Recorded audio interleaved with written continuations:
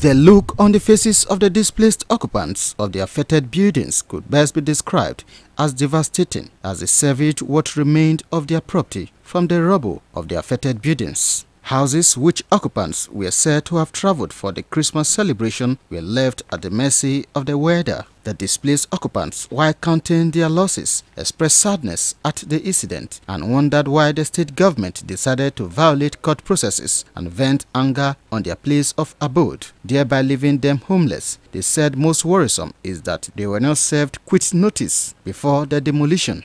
I was in my house in the night all i see i just saw people pulling down. Started shouting god i'm a widow. Give me today. Let me just park what is going nobody is talking.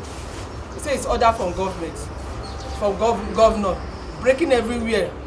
No notice. I just say god please. I pleaded and pleaded. Look at my leg. I was kind of knelt down begging. I slept in my neighbor's house. That's why i'm removing my teeth now.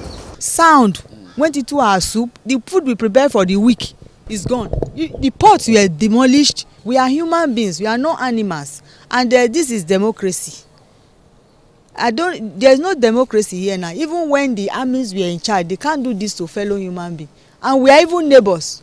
We went twice to vote for Oshomole from here to that uh, center twice. We never went to him give us a bottle of mineral.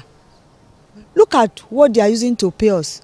only for me to get home I saw that the demolition exercise was on with bulldozer I don't know where the governor got tats from. Smoking igbo indian hair and everything. They were everywhere both policemen and all. And they said we must move our things out that yesterday evening when there was no prior notice. We started begging. we are feeling very very bad. At, at least the government they should be able to uphold or you know obey the rules and the laws of the land and the government now they are the one turning against the senior citizens of the state. It is very bad. It is very bad. Very very bad.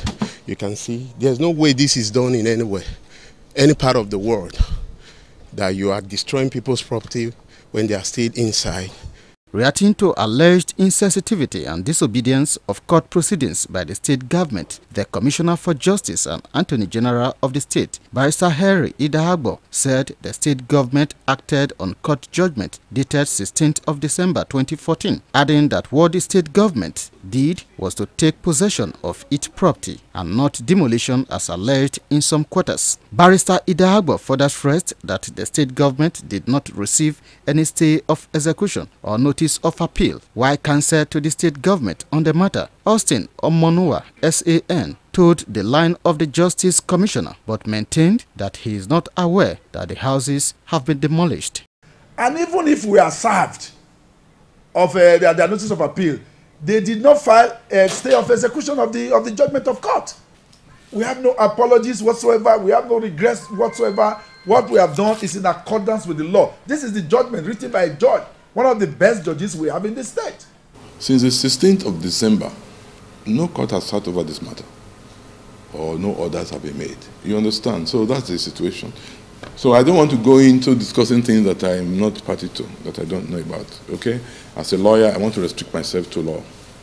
And most of the time I do my law in court reacting to the views of the Justice Commissioner and counsel to the state government on the demolished buildings, counsel to University of Benin. Chief Okeanya Ine, SAN, said after the judgment in December, he filed notice of appeal on the 18th and motion of stay of execution on the 19th of same month, which were served on the defendants and received by them and wondered why the demolition of the buildings. We expected that as at that date, Listen, they have been served by the court. Our duty is to file. But